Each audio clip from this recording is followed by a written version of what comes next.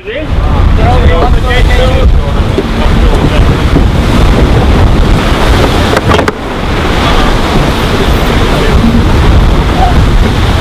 know, th this is this is just a very microscopic world of the of the big world, and uh, but everything is really um, amplified.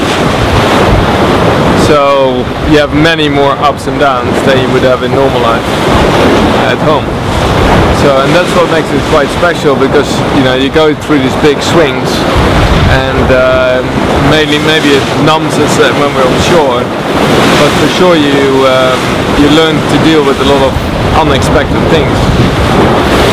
The other thing is that um, because you can be so focused about your, your job because there are no distractions that's what you do you know you can see it on the on the faces of the guys. And um, everybody is really trying to excel at what they do.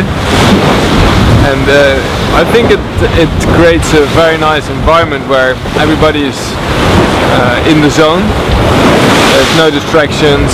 Um, there's a very unique atmosphere where where because we all know what it is to be in the zone people are um, letting each other free to get into that state. And um, so even though we're a very tight-knit team and we wear all the same team gear actually underneath we're sort of a bunch of hippies. You know we're, we're all very very uh, strange characters in many ways.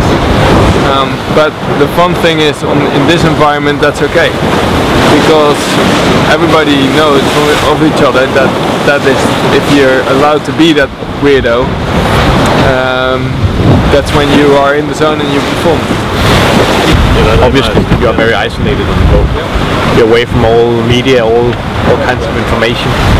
Um, but at the same time, you're not in lack of impressions because you're you're you're in the middle of it. Everything happens around you. You experience it the first time.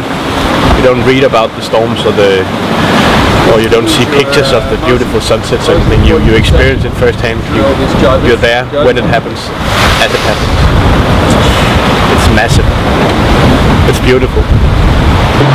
Sort of had its moments, I have to say. One, one of them was when uh, my father passed away about um, seven years ago when I was at, whilst I was at sea and trying to actually deal with everything that was involved with that was pretty horrendous. Um, and and being at sea was the last place I needed or wanted to be at that stage, but I was um, doing a transatlantic race and that's where I was and that's that's how it had to be dealt with. So um, yeah, it has its pluses and minuses I'd have to say. But um, but having said that, you know, my father would have you know, he was he was massively into me doing this sport.